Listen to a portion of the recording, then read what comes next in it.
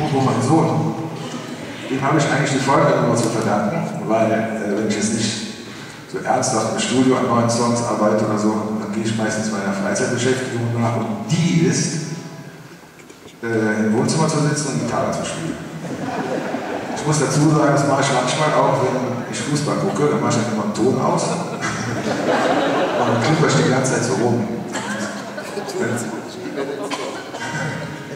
Es sei denn, Lewandowski schießt so viel zu mit. Dann lasse ich die Gitarre auch beiseite und denke, das kann nicht wahr sein. Der ist aber auch der Zaubertrank gefallen, das geht. Äh, dann klingt euch so, mein Sohn ist mal zu mir gekommen und hat dann gesagt, was spielst du denn da eigentlich so? Dann habe ich gesagt, keine Ahnung, irgendwas. Dann sagt er, das ist schön, spiel, mach da mal ein Stück draus.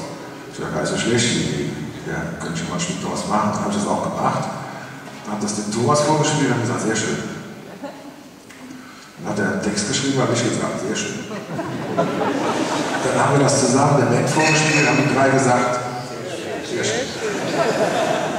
Dann haben wir es aufgenommen, dann haben wir dann im Studio gesessen und haben uns das angehört und gucken uns alle so an. Nach fünf Minuten Sprachlosigkeit und glänzenden Augen haben alle gedacht, boah, ist das schlecht. Das Problem an der ganzen Sache, ich habe früher meiner Frau immer alle meine Demos vorgespielt. Es ist noch immer so, dass wenn die dann runterkommen in mein Studio und ich spiele etwas vor, dann sagt die immer irgendwie so Sachen wie, naja, also die meinst. und dann muss ich dann immer sagen, ja Schatz, das ist ja noch nicht fertig.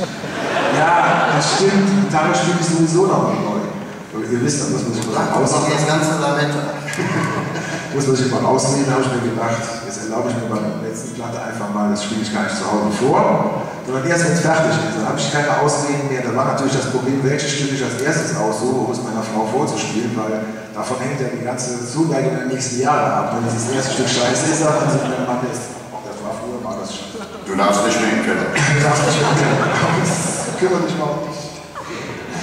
Dann habe ich mir gedacht, dann nehme ich dieses Stück und dann, ich, ich war da ganz aufgeregt und dann habe ich dann gedacht, so Schatz, will jetzt mal hören, Platte ist fertig, ja. Dann habe ich dann dieses Stück vorgespielt dann hat sie es gehört, mich ganz liebevoll an und hat gesagt, ich glaube es nicht, Klaus, das ist total schön.